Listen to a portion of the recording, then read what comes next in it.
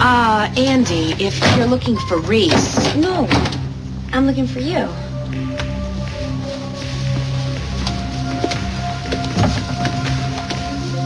Um, this is really a, a bad time. I'm very busy. Yes, I, I can see that. And what I see actually makes me very happy. Looks like you and Dr. DeAngelis have settled into a nice relationship. Which is really all I want. Come on, Jodie. Don't you even have time for just a quick cup of tea?